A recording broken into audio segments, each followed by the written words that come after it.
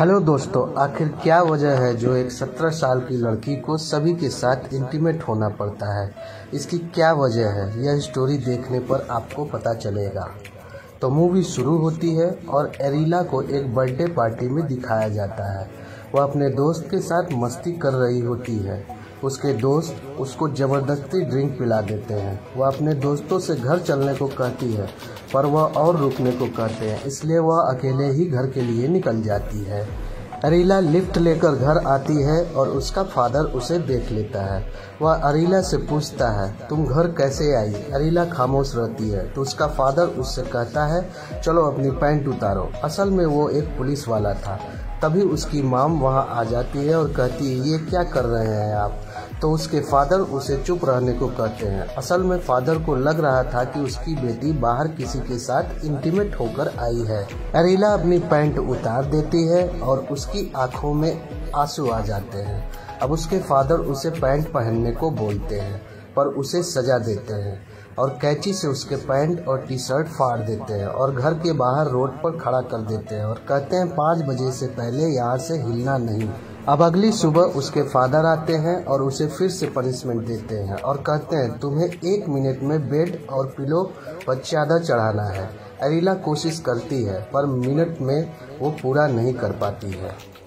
अब अगले सीन में हम देखते हैं, अरीला की मॉम और छोटी बहन एक टूर पर घूमने जाते हैं।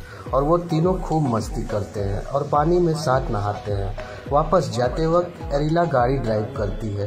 तभी रास्ते में दो पत्थर होते हैं। उसकी मोम गाड़ी पास कराने के लिए गाड़ी से उतर जाती है। तभी एरिला का पैर ब्रेक से हटकर एक्सलेटर पर दब जाता है और गाड़ी उसके मोम के ऊपर चढ़ जाती है।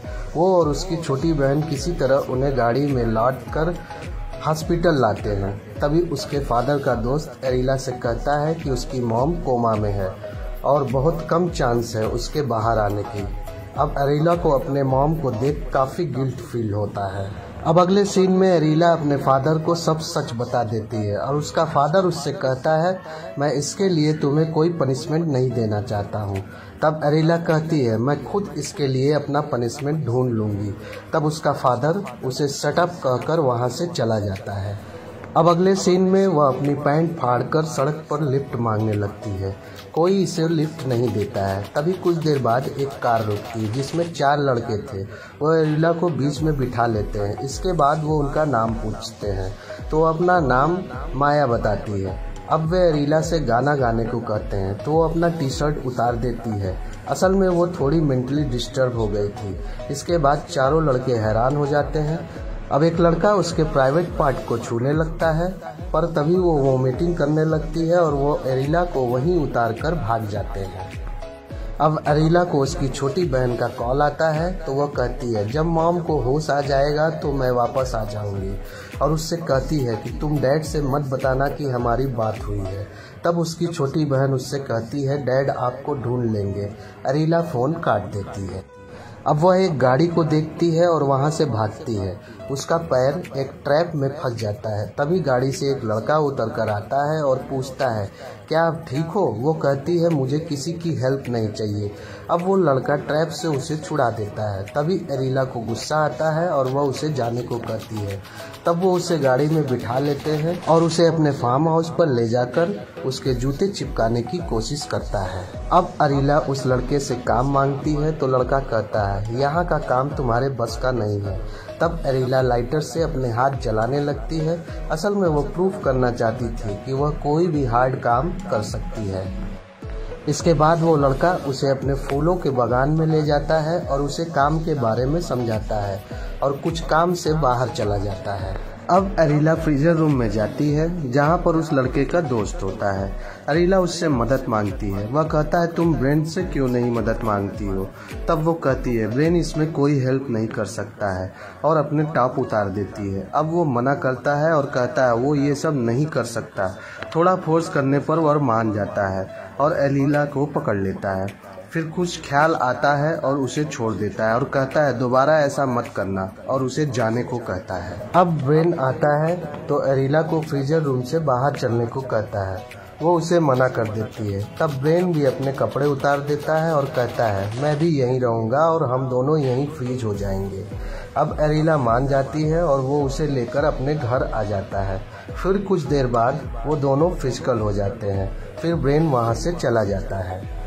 अब अगले सीन में एरिला के फादर को दिखाया जाता है, जो कि बहुत परेशान है, क्योंकि उसकी वाइफ कोमा में है और एरिला घर से गायब थी।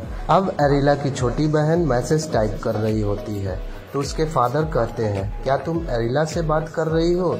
तब वह बताती है एरिला तब तक वापस नहीं आएगी, जब तक उसके मॉम को होश नहीं आएगा. अब अगले सीन में एरिला को फिर से लिफ्ट मांगते दिखाया जाता है। और एक कार वाला उसे लिफ्ट दे देता है। दूसरी तरफ़ उसके फादर उसे ढूँढने के लिए निकल जाते हैं। उसके फादर अरीला का मोबाइल ट्रैक कराते हैं और उसी डायरेक्शन में जाने लगते हैं।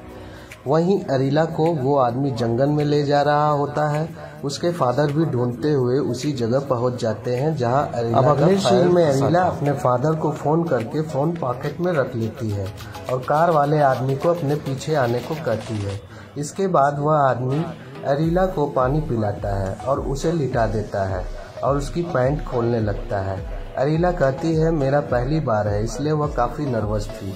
वह आदमी कहता है, पहली बार दर्द होता है, पर फिर अच्छा लगता है और उसे किस करने लगता है। वहीं यह सब सुन उसका फादर बहुत परेशान होता है। अब उसका फादर उसे खोजने लगता है और इधर कार्यक्रम चालू होने वाला होता है।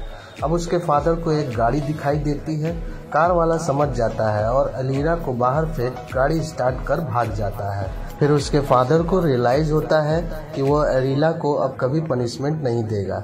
इससे बच्चों को मेंटली इफ़ेक्ट भी पड़ सकता है। अब अरीला हॉस्पिटल में अपने मॉम के साथ होती है और यहीं पर मूवी समाप्त हो जाती है। मूवी की स्टोरी अच्छी लगे तो लाइक शेयर एंड सब्सक्राइब करना ना भूले। Thanks for watching